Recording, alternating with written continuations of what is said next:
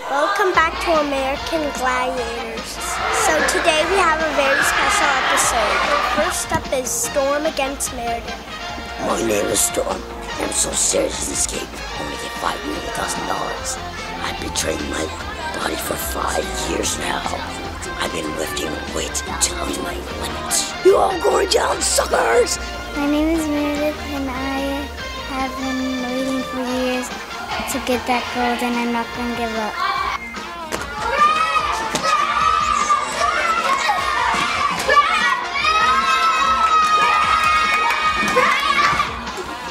Yes, I want that, you guys! Yeah.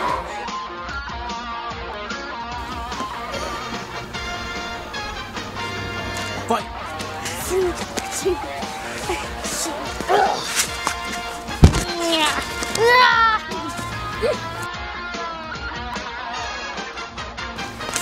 く